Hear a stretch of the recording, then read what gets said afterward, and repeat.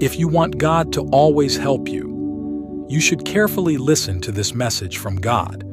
If you don't do this, God won't be able to assist you because you'll be blocking God's angels. So listen to the full message.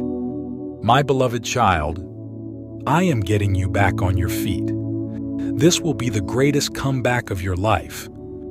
You will overcome every obstacle and rise to new heights. Rest in me.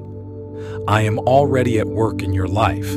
I will turn around every bad situation in your life. I will bless you and your family, and I will heal what needs to be healed. You have been through a lot lately, but you have struggled, fought, and persevered.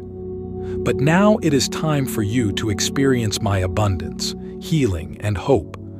Do not be afraid. I am with you.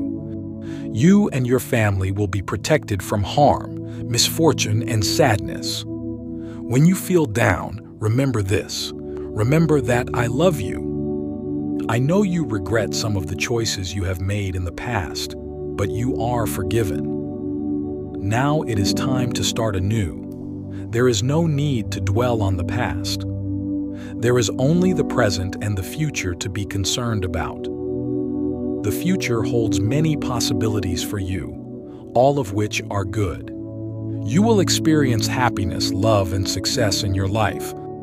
God bless you. Type Amen and get blessed today.